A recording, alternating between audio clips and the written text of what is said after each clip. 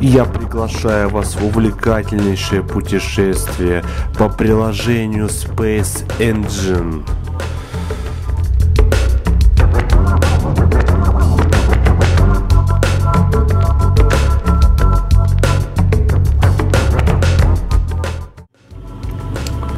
Наша Солнечная система состоит из Солнца и всего, что вращается вокруг него.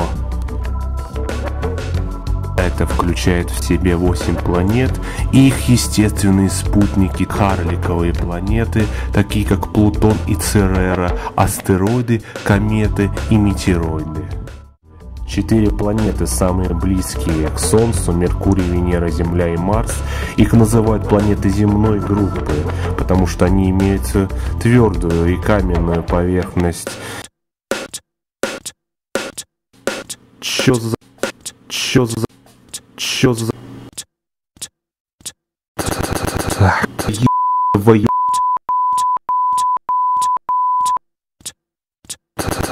Поверхность, поверхность, поверхность, поверхность. Все нормально, продолжаем.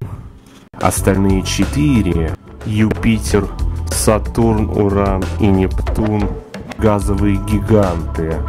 Большинство известных карликовых планет существует в ледяной зоне за пределами Нептуна под названием пояс Койпера. Также это место происхождения многих комет. Солнце центр нашей Солнечной системы. Практически вся масса Солнечной системы приходится на Солнце, которое оказывает огромное гравитационное воздействие на планеты и другие небесные тела. Даже если сложить все объекты, планеты, их спутники, кометы, астероиды в единое, мы получим массу в 700 раз меньше массы Солнца. Наша Солнечная да ё... Солнечный, солнечный, солнечный. Ну давай, давай, давай, ну, ну, давай, давай. Ну, ну. Вот.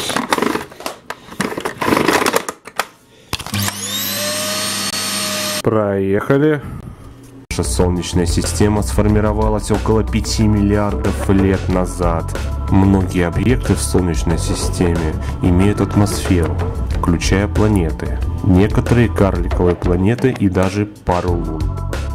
Наша Солнечная система расположена в рукаве Ориона, галактики Млечный Путь.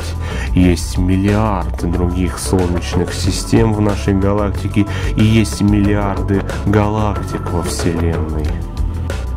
Измеряем дистанцию в нашей Солнечной системе астрономическими единицами АЕ1 oh yeah, oh yeah. равна дистанции между Солнцем и Землей, которая составляет примерно 150 миллионов километров или же 93 миллиона миль.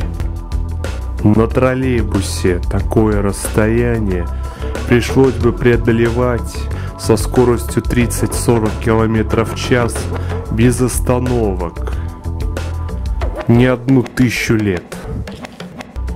Космические корабли-близнецы Voyager-1